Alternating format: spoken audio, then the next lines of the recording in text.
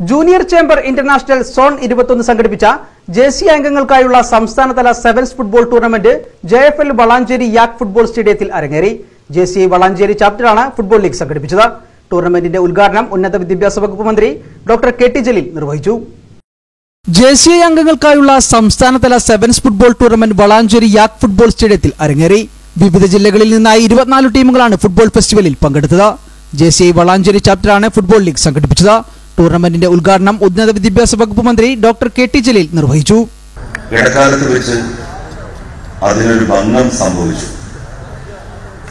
എല്ലാവരും വളരെ സീരിയസ് ആയി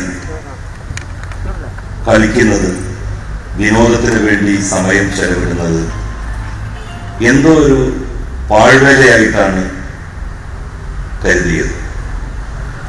അങ്ങനെ കൃത്രിമമായ ഗൗരവത്തിന്റെ ഒരുതരം വല്ലാത്ത അവസ്ഥയിലേക്ക് നമ്മളെല്ലാവരും മാറി.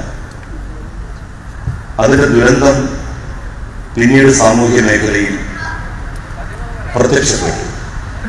ടൂർണമെന്റിനോടനുബന്ധിച്ച് കേരള പോലീസ് വളാഞ്ചേരി ടീമും ജെ സി ഐ വളാഞ്ചേരി ടീമും തമ്മിൽ പ്രദർശന മത്സരവും നടന്നു. ഫൈനൽ മത്സരത്തിൽ J C I Kadampuzha ചാമ്പ്യന്മാരായും J C I Valanchery team runners അപ്പായും തിരഞ്ഞെടുത്തു.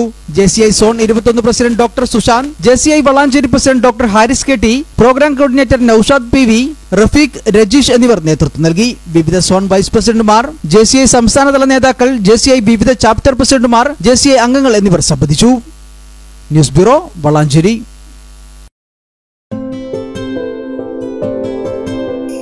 പതിനഞ്ച് വർഷങ്ങളായി ഈ തിളക്കം നമ്മെ ഭ്രമിപ്പിക്കുന്നു. പതിനഞ്ച് വർഷങ്ങളായി ഈ വ്യത്യസ്തത നമുക്ക് ആത്മവിശ്വാസം നൽകുന്നു. പതിനഞ്ച് വർഷങ്ങളായി നമ്മുടെ ആഘോഷങ്ങളിൽ ഈ പാരമ്പര്യവും പങ്കാളികളാണ്. ഒരു ദേശത്തിന്റെ ആഭരണ സംസ്കാരം രൂപപ്പെടുത്തിയവർ. ഞങ്ങളെപ്പറ്റി നിങ്ങൾക്കല്ലേ കൂടുതൽ അറിയുന്നത്? പരിശുദ്ധിയുടെ സുവർണ പാരമ്പര്യം ഹയാത് ഗോൾഡൻ ഡയമണ്ട്സ് വളാഞ്ചേരി.